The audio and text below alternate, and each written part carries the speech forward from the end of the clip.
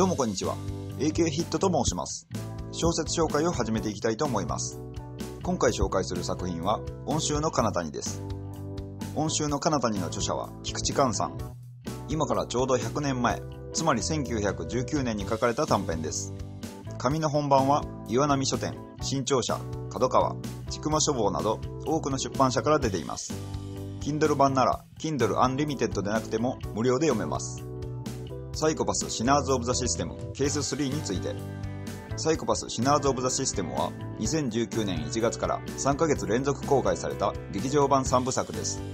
2019年10月24日から放送のテレビアニメシリーズ第3期を控えすでに劇場版 DVD の販売やレンタルは始まっています。今週の彼方には劇場版アニメサイコパス・シナーズ・オブ・ザ・システムケース3のタイトルでもあります。作中に実際にこの本が登場しテーマがリンクしています。サイコパス・シナーズ・オブ・ザ・システムケース3のあらすじ。友人の復讐のために牧島省吾の殺害を果たした鴻上信也は日本から脱出してアジアを転々としチベットヒマラヤ同盟王国にやってきました。そこでは様々な勢力が武力衝突を繰り返しており内戦状態にありました。難民の避難バスが武装ゲリラに襲われている場面に遭遇した鴻上は銃撃戦の末にバスの乗客たちを救うことに成功しました。そしてそのバスに乗っていた少女天神は鴻上の強さを目にして先生になってほしいと彼に依頼しました。実は天神は6歳の時に両親を武装ゲリラに殺害されており彼女は敵を討つために犯人を探していたのです。彼女は現在は10代半ばぐらいです。つまり先生とは戦い方を教える先生ということです。人の殺し方を教えることはできないが身を守る方法は教えてやれると言って鴻上は天神の依頼を承諾しました。天神の父は日本人でした。そして彼の遺品の一つに菊池寛の短編小説「温州の彼方に」がありました。しかし天神は日本語が読めなかったので今まで内容を知ることができませんでした。鴻上に会えたことで天神は彼に読み方を教わりながら少しずつ読み進めていくことにしました。小説は復讐に関係する話です。鴻上は復讐に燃える天神に危うさを感じます。そして復讐なんて命を懸ける価値はない。一度でも人を殺せば殺す前の自分には戻れなくなると諭します。ある日彼らは難民申請のために役所へやってきました。そこで天神は偶然にも両親の仇である人物を発見します。果たして彼女は復讐を果たすことができるのでしょうか。では今度は菊池寛の小説のあらすじを紹介します。西暦1700年前半つまり江戸時代主人公の一九郎は主君の三郎兵衛の愛称お弓と密通しました。そのことが三郎兵衛にバレて処罰として彼が今まさに切られようとしている場面から物語は始まります。一九郎は自分が悪いことをしたと思っていたので反抗する気は最初はありませんでした。しかしいざ切り殺される段階になった時どうせ死ぬのだからとつい反撃してしまい三郎兵衛を殺害してしまいます。主君殺しは大罪なので一九郎はお弓にそそのかされて一緒に逃げ出します。やがて2人の所持金は底をつきつつもたせからゆすり最後には盗賊になって人々から金を取るようになりました。昼はサテン夜は強盗を働く毎日が過ぎます。ある日豪農の若い夫婦が店にやってきました。一九郎はいつものように店から遠く離れた場所に先回りして彼らを襲って殺害し身ぐるみを剥いで店に帰ってきました。しかし彼はこの殺人に両親の呵責を覚えてしまい女がつけていた高価なかんざしを取り忘れているよというお弓の言動が浅ましく感じました。もうお弓と一緒に暮らしたくないと思った一九郎は家を出て上岸寺に駆け込みました。